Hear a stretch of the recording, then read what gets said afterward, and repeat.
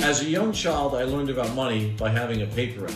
I mean, it is certainly, in many ways, a microcosm of all the business lessons I had throughout my life. And to be involved with money, to have a profit from your hard work, is a fundamental life lesson, and I'm so glad that I had it.